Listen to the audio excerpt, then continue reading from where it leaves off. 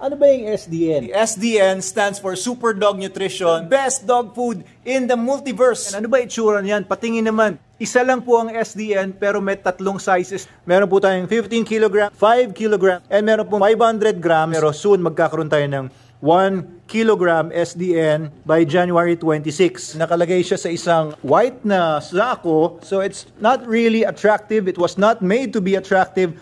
Actually, we made this product to feed our dogs sa Manalo K9. We have 400 dogs from small Jack Russell Terriers to the big American Mastiff that we have, si Boss at saka si Lafade, yung aking Caucasian Ovcharka. We have puppies as early as 3 weeks old, pati yung mga matatanda naming mga retired K9 sa Manalo K9. This is all they eat. Wala silang ibang supplements, vitamins, probiotics, whatever. Ito lang po, nandito na po lahat sa SDN. Sticker lang po yung ginawa namin para po idikit din sa sako para doon sa mga binebenta po namin sa labas. So yung mga ginagamit po namin sa mga dogs namin, walang stickers. Kasi itong sako na to ay free ito galing doon sa manufacturer natin. Pero soon, magkakaroon na po tayo ng maayos na packaging tapos na yung design. 42% protein and it's the highest animal protein dog food sa market today.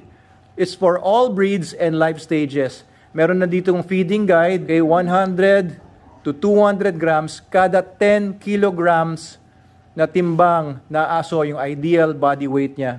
Okay, so kompleto na to with vitamins, hindi na kailangan magbigay ng supplements, may live probiotics. Uh, almost all animal protein ito, walang fillers kagaya ng mga wheat, soya, etc. Dito po sa likod, makikita ninyo, uh, may konting information pa, may sticker din ulit dito sa likod. Nandito yung recommended feeding amount, feeding frequency, nutritional analysis, ingredients manufactured by manufactured for. So, sa amin yung produkto, sa amin po yung formula, akin yung konsepto, pero pinapagawa po natin ito sa ating manufacturing partner na Pet One. Information on how you can contact us and yung mga ilan sa mga logos na mga awards na tanggap namin para dito sa dog food na to. Bubuksan po natin yung laman nito.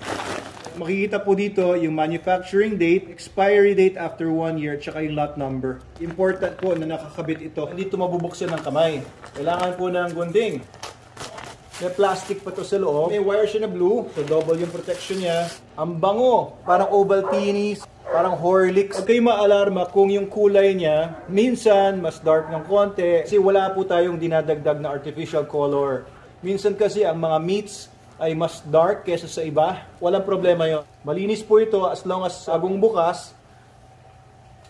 Mm. Masarap. So this is very safe kasi wala naman tong chemical preservatives or anything like that. Nothing that will harm our dogs. This is a top quality product na talagang pwede natin ipagmalaki. Kahit local siya, ang ingredients niyan galing sa New Zealand. Kaya gustong gusto ng mga dogs talaga.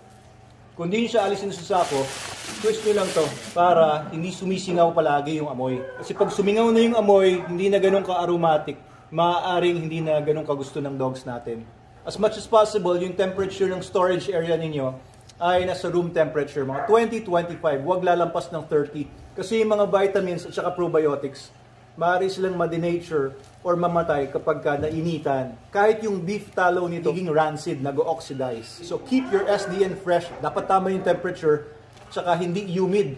Huwag basa-basa kasi once na mabasa ang SDN natin, pwede siyang mapanis at tubuan na ng mga molds, bacteria, etc. So enjoy your SDN. This is our product. We're proud of it. And it's the best dog food in the galaxy, in the world, in the universe, in the multiverse.